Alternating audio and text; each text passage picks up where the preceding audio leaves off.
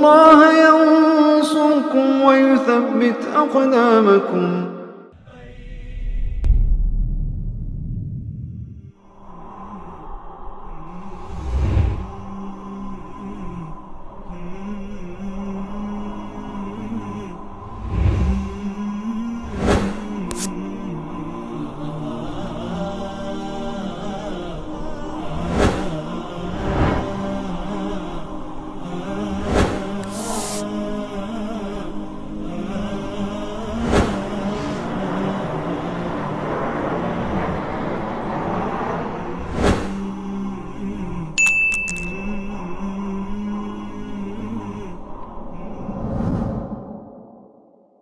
Talqin al-mayyit, mentalkinkan mayat setelah selesai proses penguburannya.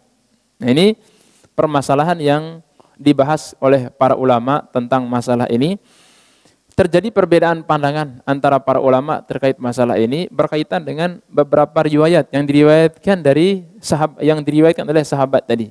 Ya, ada dari Abu Umamah, ada dari eh, apa? Eh, apa namanya eh, seorang tabiin tadi eh, Damrah bin Habib. Kaitan dengan eh, mentalkinkan mayat setelah selesai proses penguburan. Seperti mungkin yang kita lihat di sebagian praktek kaum muslimin. Ya, ada yang setelah me, me, selesai penguburan itu ada sebagiannya yang mentalkilkan, ya, wahai fulan, katakanlah Rabbku adalah Allah, Nabi adalah seperti ditalkinkan ketika dia untuk menjawab pertanyaan malaikat tersebut.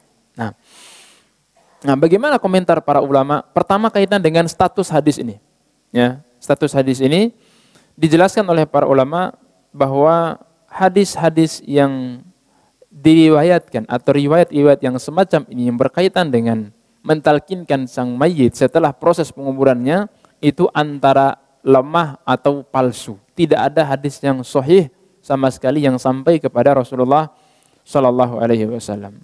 Di antaranya disebutkan oleh Imam Sunani di sini, qala al-Athram Al-Athram salah seorang uh, murid seniornya Imam Ahmad rahimahullahu taala, qultu li Ahmad bin Hanbal. Saya berkata kepada Ahmad bin Hanbal, "Hadza alladhi tasna'unahu idza dufina al-mayyit yaqifu ar-rajulu wa yaqul ya fulan fulana Qala ma ra'aitu ahadan yaf'aluhu illa ahlu Syam hina mata Abul Mughirah.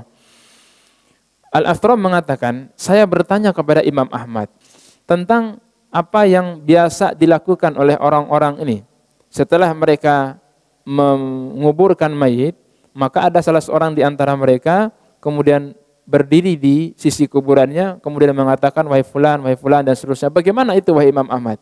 Beliau mengatakan, itu ahadan yaf'al. Tidak saya tidak pernah mendapatkan seorang pun melakukan itu kecuali penduduk negeri Sam. Ya, kecuali penduduk negeri Sam. Ya, ya kita tahu bersama negeri Sam itu di mana. Nah, mereka hanya mereka saja yang melakukan itu. Ya. Ketika meninggalnya Abu Al-Mughirah. Ya, jadi secara periwayatannya ya tidak ada yang sahih sampai kepada Rasulullah sallallahu alaihi wasallam. Wa yurwa fihi an Abi Bakar ibnu Abi Maryam an asyakhihim annahum kanu yaf'alunahu wa qad dhahaba ilaihi asy-Syafi'iyah.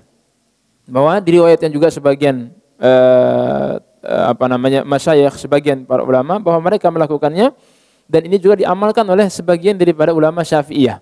Ya, diamalkan oleh sebagian ulama Syafi'iyah. Sehingga di sini terjadi perbedaan pandangan para ulama tentang permasalahan ini, ya.